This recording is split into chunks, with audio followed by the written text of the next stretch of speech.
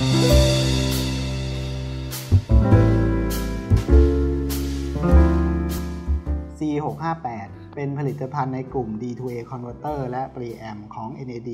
รุ่นแรกเลยนะครับ ที่ติดตั้งภาคเน็ตเวิร์ก Blue OS Streaming มาให้จากโรงงานเลย เหมาะสำหรับใครที่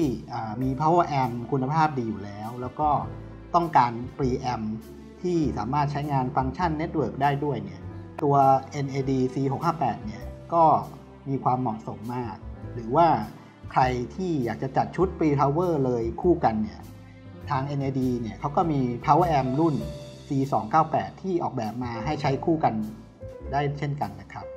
NAD C658 เนี่ยรองรับการเชื่อมต่อทุกรูปแบบนะครับ สามารถเล่นสตรีมมิ่งแล้วก็จัดการไฟล์เพลงจำนวนมาก ๆ รวมถึงการเชื่อมต่อ network เนี่ยได้อย่างมีประสิทธิภาพนะครับ ผ่านตัว BluOS soft และที่สำคัญเนี่ยเฟิร์มแวร์ตัวล่าสุดเลยเนี่ยพออัปเดตแล้วปุ๊บเนี่ยก็จะสามารถใช้ Tidal Connect ได้ด้วย Tidal Connect เนี่ยมันเป็นฟังก์ชันที่เราสามารถเปิดแอป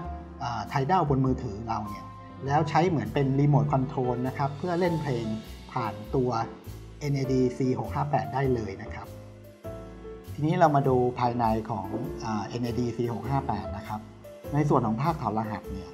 ทางผู้ผลิตไม่ได้ระบุชิปไว้ว่าเป็นรุ่นอะไรนะครับแต่ว่ารู้แค่ว่าเป็น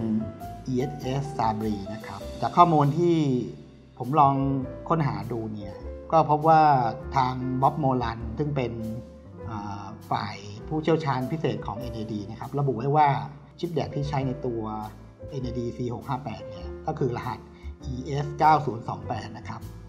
ซึ่งความสามารถก็คือ รองรับ sampling rate เนี่ยได้ที่ 32 บิต 384 กิโลเฮิรตซ์รวมถึงมี MQA แบบ full decoder นะฮะ นั่นหมายถึงว่าเมื่อเวลาเราเล่นไฟล์ MQA เนี่ยมันก็สามารถทำการคลี่ไฟล์ หรือว่าที่เรียกว่า unfold เนี่ยออกมาได้จนสุดทางนะครับ ก็เรียกว่าถอดรหัส MQA ได้แบบเต็มรูปแบบด้วยนะครับ อีกฟังก์ชันหนึ่งที่น่าสนใจนะครับ ซึ่งจะมีอยู่ใน NAD รุ่นใหม่ๆนะครับ ก็คือฟังก์ชันที่เรียกว่า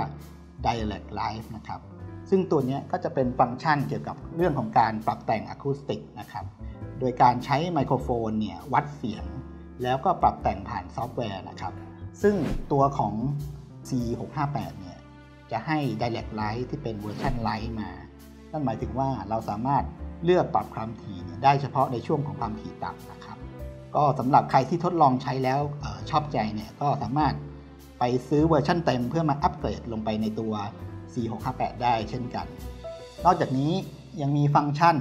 aptX HD Bluetooth นะครับ ซึ่งเป็นฟังก์ชัน Bluetooth ที่เรียกว่าคุณภาพดีที่สุดตัวหนึ่งตอนนี้นะฮะ นอกจากนั้นยังมีภาค Phono State สำหรับหัวเข็มแบบ MM นะครับ แล้วก็มีภาค Headphone แบบ High Current ให้มาด้วย ทีนี้เรามาดูด้านหน้าของเครื่อง NAD C658 นะครับดีไซน์เนี่ยก็จะเน้นความเรียบง่ายนะครับ มีปุ่มไม่เยอะสไตล์ของ NAD Classic Series นะครับ ปุ่มแรกเลยซ้ายมือเนี่ยก็จะเป็นปุ่ม Switch Power ปิดเปิดเครื่องนะครับ ถัดมาปุ่มกลมๆเนี่ยก็เลยเป็นปุ่ม Control Panel นะครับ ซึ่งตรงนี้เราสามารถกดปุ่มเพื่อเข้าเมนูในแต่ละส่วนได้นะครับ แล้วตรงกลางก็จะเป็นปุ่ม Enter เพื่อการกดเลือกนะครับ ถัดมาเป็นช่อง headphone สำหรับเสียบหูฟังนะครับ แล้วก็ตรงกลางเนี่ยก็จะเป็นหน้าจอแสดงผลนะครับ รายละเอียดของการเล่นเพลง แล้วก็การ setting ต่างๆ ถัดมาเนี่ยเป็นปุ่มซอสอันนี้ก็คือตัวเหมือน selector นะครับ ไว้กดเลือกแหล่งโปรแกรมที่เราต้องการ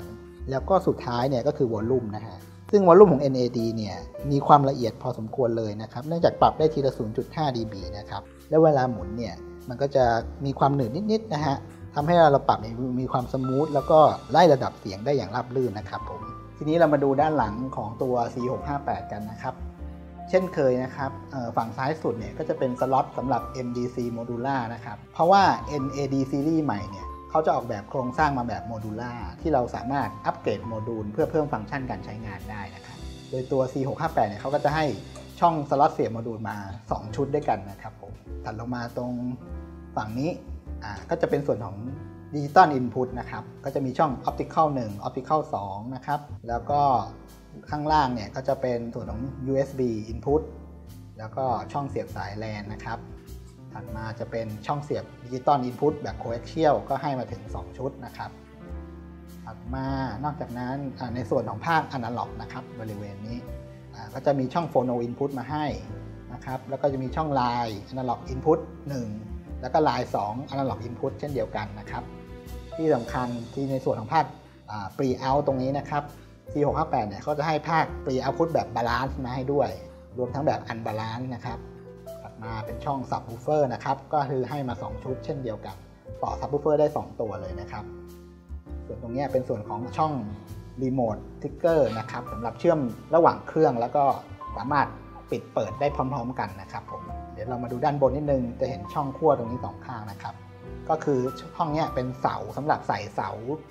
รับสัญญาณ Wi-Fi นะครับ ส่วนทางขวาเนี่ยเป็นเสารับสัญญาณบลูทูธนะครับ ก็อย่าลืมติดตั้งกันเข้าไปด้วย แล้วก็ด้านขวาสุดก็คือสวิตช์เมนปิดเปิดเครื่องถัดมาลงเป็นช่อง IEC เสียบสายไฟสำหรับเรื่องของคุณภาพเสียงนะครับ NAD C658 เนี่ยให้คุณภาพเสียงที่ค่อนข้างเป็นกลางสูงนะครับ แล้วก็ เน้นความโปร่งใสสะอาดของเสียงนะครับแมทชิ่งง่ายจับคู่กับ Power Amp เนี่ยได้อย่างไม่มีปัญหานะครับ ไม่ว่าจะเล่น Power Amp แบรนด์ไหนเนี่ยตัว NAD เนี่ยก็จะไม่เข้าไปทำลายจุดเด่นของ Power Amp ที่เรามาจับคู่ด้วยนะครับ หากใครมี Power Amp ตัวเก่งเก็บไว้ที่บ้านนะครับ แล้วอยากจะเอามาชุบชีวิตมันเนี่ย NAD เนี่ยผมเชื่อว่าจะเป็นตัวที่ทำให้ Power Amp ตัวเก่งของคุณเนี่ย สำแดงประสิทธิภาพออกมาได้เต็มที่นะครับ แล้วก็ที่สำคัญคือสามารถใช้งาน Streaming Service อย่างมีคุณภาพได้ด้วยเช่นกันนะครับสำหรับใครที่สนใจเนี่ยก็ลองติดต่อไปได้ทาง Conice Electronic นะครับ เดี๋ยวจะขึ้นที่อยู่ให้นะครับสำหรับวันนี้ก็ขอจบการรีวิวเท่านี้ครับผม สวัสดีครับ